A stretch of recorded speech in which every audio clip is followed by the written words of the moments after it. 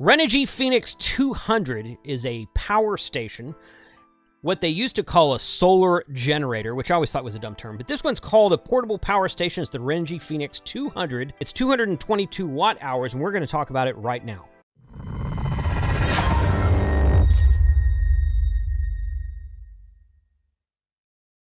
Ham Radio 2.0 reviews, news, and how-tos of things that are new in ham radio. This was sent to me by Renogy because I bought a Renogy Phoenix small suitcase type device. They called it a Renogy Phoenix Elite. It was a suitcase type device that opened up. It had a solar panel in it, and it had an inverter built in it with a couple of 110 volt uh, AC plugs and some USB stuff and a light on the side of it. Blah blah blah and they stopped making that. And, and that thing works great. I still have it. It's out in the garage somewhere. I tried to find it before this recording, and I, I don't have it right now. It works fine. Nothing wrong with the way it works, but the screen on it never worked. It's incredibly dim. So I filed a warranty thing with it, and they said, hey, we don't make that one anymore. Can we send you the new one? I said, yes, and this is what we got. So that's the Renogy Phoenix 200 power station. You can see right here it's got two 110 volt ports on the front of it. It's got a 12 volt cigarette lighter adapter, two quick charge USB C, or I'm sorry, USB A connectors. I always call these USB C connectors. They're USB A connectors, but they're QC Quick Charge 3.0. You can tell because they're blue. Presumably, they're. I haven't actually tested these, but presumably they're they're correct. Renogy's colors are blue, so hopefully they just didn't make them blue because of that, because QC 3.0 should be blue. Maybe that's something we'll test later. Anyway, so this is uh, the two USB A 3.0 connectors, uh, USB C. This is an actual USB C connector. I believe it's 60 watts, not 90 watts, unfortunately. And this is an input for your solar panels. It comes with an AC power adapter, so you just plug that right in and it charges up. The cool thing about this screen right here is it'll tell you how many hours you have left to discharge. And while you have the AC charger plugged in, it'll tell you how many hours left you have to charge. So let's check this out a little bit closer. So I have an EcoFlow that has connections on the front, the side, and the side. So it's very cumbersome to use that power station in the truck. If you're sitting on a picnic table somewhere, then great. Nothing wrong with that. But I like the fact that all of these connections are on one side. So I can stick this in a corner somewhere in my vehicle or in a tent or in the, you know maybe the room uh, if my power goes out in my ham shack or whatever i can stick this in a corner somewhere and not have to worry about having connections on both sides of it. So i like that. I like the fact that all the connections are on the front of it. I'm going to plug this in. I'm just going to plug in my freaking phone. And all i want to really do is show you guys how the screen changes when i plug my phone in. Right there.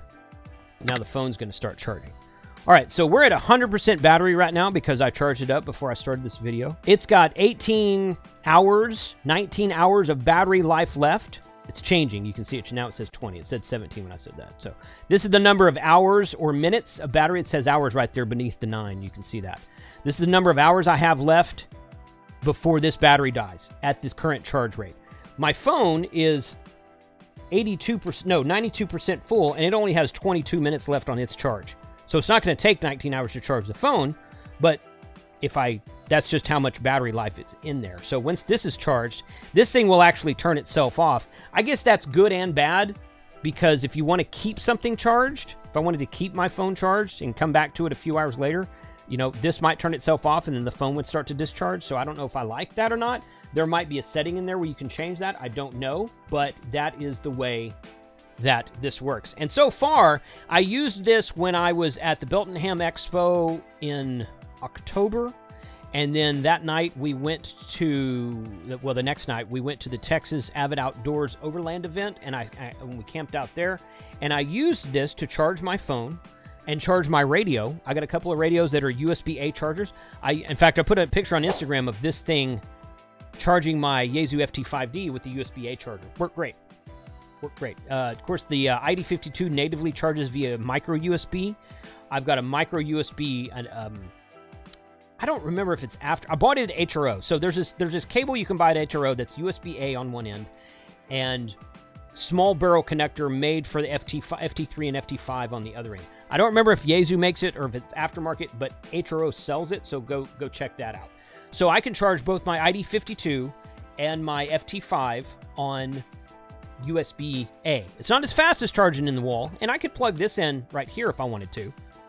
But, you know, Maybe sometimes I want to charge it via USB. And I'm just, if I plug it in overnight and go to sleep, by the next morning it's fully charged. If I'm using the 110 plug, because there's only two of them on it, if I'm using the 110 plug uh, charger for to charge, let's say, an electric blanket if it's really cold outside. If I'm using it to charge my laptop, charge my laptop because my laptop only has 110 volt. Although my laptop does charge via USB-C, I don't know if this will charge it. That's something in the future I'm going to have to check. So, so far, really happy with this device. It's lasted, I've charged it down and up half a dozen times or something like that, and it's always done really well. It's small and lightweight. It's about two thirds the size of the EcoFlow one that I bought on Amazon a while back. It's got this carrying handle on the top of it, so it's easy to carry around, and um, it's just really compact. I've been really happy with this device, and I would like to test one of their larger devices. So maybe someday I'll get my hands on one of that. But put a comment below. Let me know what you think. Which power pack do you have? I've been doing a lot of research on power packs lately. There's a lot of power packs out there. The ones I've mainly been looking at is, is Renogy, EcoFlow, Bluetti, Jackery, and Goal Zero. And out of those five, and there's two or three other kind of what I call off brands. Now, I've got an off brand in my truck right now that was sent to me, and I love that thing. More to come on that later. I want to spill the beans on that yet. Out of all the ones I just named, which if you have research power packs at all, you should recognize most, if not all, of those names. Out of all the ones I named, Goal Zero is the only one that has Anderson power poles as an output on the front of the device. That's going to be fun to test. The main question I have about this reviewing it on a ham radio channel is how much RFI does it cause? If any. Maybe none. Maybe it pukes all over the place. Who knows? With a wideband receiver, a DC to daylight receiver such as an IC705, you can test that pretty easily. So guess what? I'm going to have to do that. I don't have my IC705 with me right now. So I'm going to put the camera on pause. I'm going to go get my IC705 and then we're going to test it, and we're, we're going to plug in an AC outlet to it, and we're going to plug in a DC outlet to it like it has now, a USB. And I'm going to see what kind of RFI this thing produces with an IC705 sitting right next to it. Okay, I wanted to bring the Renogy Phoenix 200 out to the hunting lease and show you what it looks like with the wideband receiver like the ICOM IC705 next to it. Right now, power it on, power this on. Let me point the camera at it. So I've got this plugged in right now, and you see it's at 100%, and I've got my RFinder plugged into the AC. The AC is on, which hopefully you can see the white light right there. The power is on, or, or else the screen wouldn't be on. And you can see there's no RFI being interfered on the band right now. Now, here's something that's really fun, something we have to constantly deal with at field day and winter field day. I'm going to start my generator. There we go. Now look at that.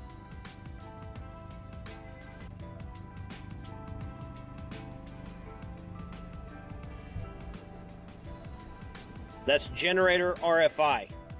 And when I first plugged this up, I'm like, okay, what's interfering? What's going on here? Because I got a lot of things plugged up over here.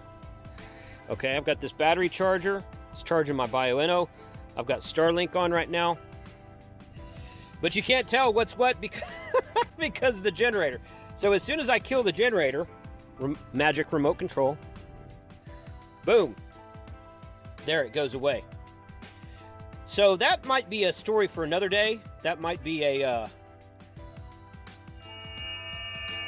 yeah, that might be a test and a video for another day. But the important thing is that this thing is plugged in, charging my RFinder phone. That's the red but uh, the red light right there.